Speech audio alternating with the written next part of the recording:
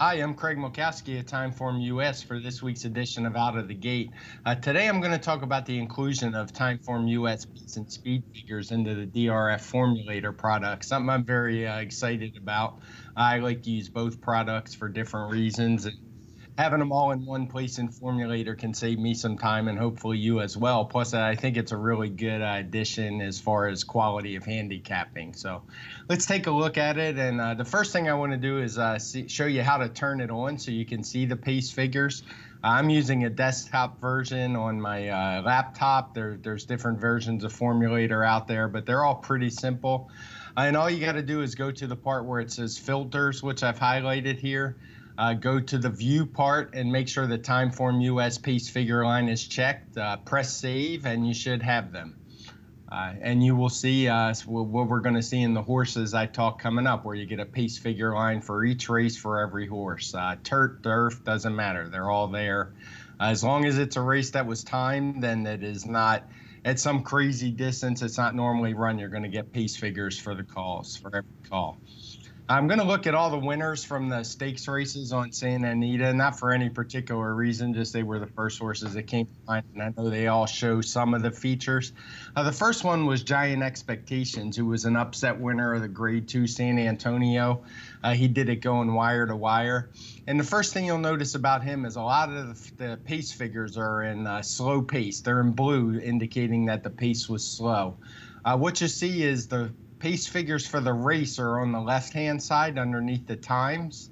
Uh, for example, in his latest race, he went 22.94 for the first quarter, and that equated to a 117 Timeform US pace figure. Uh, to the right, you actually get what the horse ran to that call. In this case, uh, Giant Expectations was 11 lengths off the lead, and he got an 85.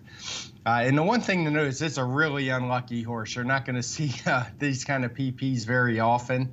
Uh, there's just nothing but blue fractions, which we only show the, the blue and the red fractions for about 30% of the races, I believe. Uh, and that's both of them combined. So for this horse to keep getting blue after blue for a horse who's a bit of a closer was surprising. Uh, what was more surprising was how on uh, Malibu Day on Tuesday, he actually took the lead out of the gate and went wire to wire, setting a really slow pace. So he did finally catch a break and paid a big price. But, you know, the thing to see is it's kind of an in race bias where you see uh, the pace was slow, so horses coming from off the back are going to have a tougher time. Uh, and horses on the lead should have an advantage in those kind of races. Uh, the next horse we're going to look at is Bowie's Hero. Uh, he won the Grade 2 Mathis Brothers Mile a little later on the card. And um, something I neglected to mention with the previous horse, Giant Expectations, is the uh, Timeform US pace early and uh, Timeform US early and late speed ratings. I have them highlighted on Bowie's Hero in yellow. You can see the 76 and the 109. So he's definitely kind of more of a closer horse. Uh, you can see by the higher late pace rating. Uh, that does depend on surface and distance. Uh, there's some more available on our site. Uh, these have been available in DRF printed PPs for a while and classic PDF PPs, but they're now making their way to Formulator. And keep in mind, these are an overall rating based on more than just one race. They're based on the the best of the last five, not just one best, but it could be uh, multiple races, but not all of them of the last five. And what you see with Bowie's hero here is he is definitely a horse who has done best in the past when he gets a fast pace.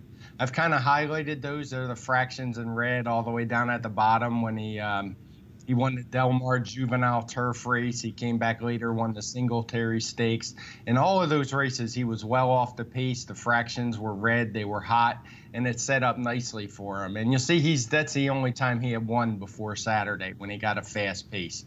Now he did show a new dimension on Saturday. Uh, the, the runner-up set a slow pace. Bowie's Hero was able to stay a little bit closer, well, quite a bit closer than he normally does. It was a good ride by Jockey Kent up close, and he was able to still finish very strong and win. So it'll actually be the first time he did not win that he didn't need red fractions to win a race. But he is a horse to, uh, that, who's improving. He, he, showed some more speed. But the key here is just note uh, the race shape. If it sets up in the reds, you're going to like closers. They should run the best, and you're looking for horses that maybe ran good against the grain of the pace.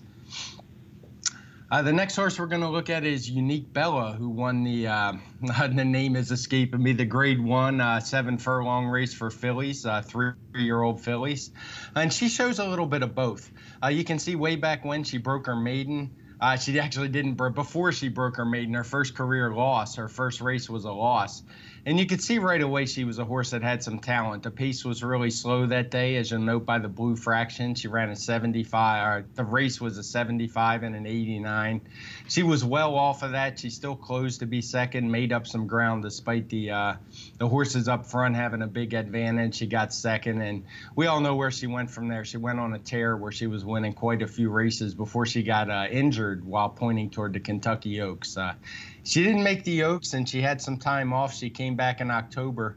And I think her two return races kind of show the, the power of what these figures can, can do.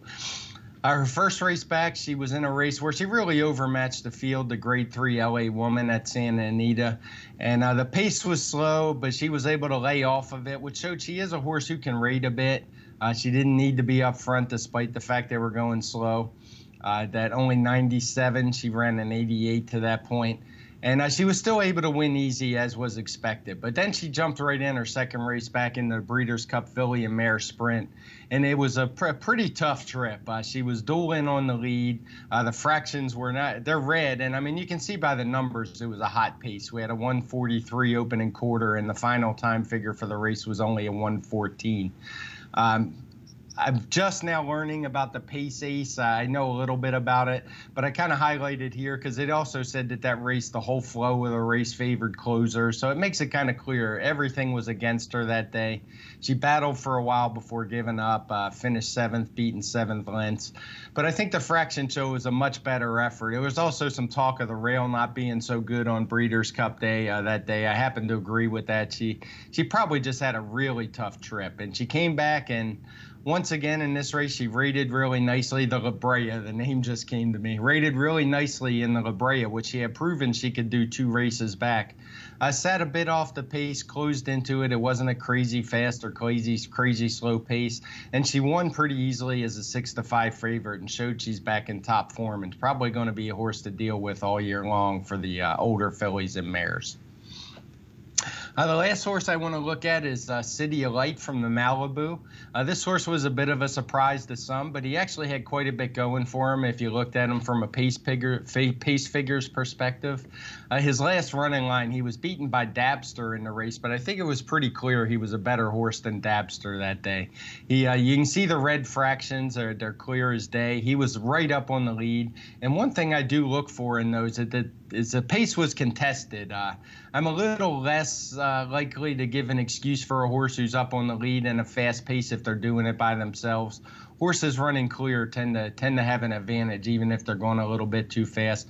But this horse dueled. He put away his competition. You see, he opened up by two lengths only to get run down late but he, he just looked like a very strong horse coming into the Malibu. And one other thing to note with him is the Timeform uh, U.S. early speed rating, his 117 was well clear of everybody else in the field. The next highest was a 101. So it looked like despite drawing the inside really wasn't going to have too much trouble making the lead. And that's exactly what he did. And he was able to win pretty easily. Uh, if you want to learn some more about Timeform US speed figures and formulator, there are a couple pieces out there. What I did is just uh, highlighted, use the search button. You click on that from the home page, type in Timeform US formulator, uh, press submit. And then when you go to the next page, the uh, first uh, two of the first three articles that pop up are recent additions. One talks about the figures in Formulator, and then there's a Q&A with myself where some more, little more in detail questions are asked about the figures. Uh, so hopefully I covered most of that there. And if that doesn't work for you, if you have any questions that I haven't covered or more that you want to see, you can always come to Twitter and uh, ask me there. I'm always happy to answer questions. My handle there is at TimeformUSFig. So look forward to hearing from you and answering any questions that you might have or just discussing racing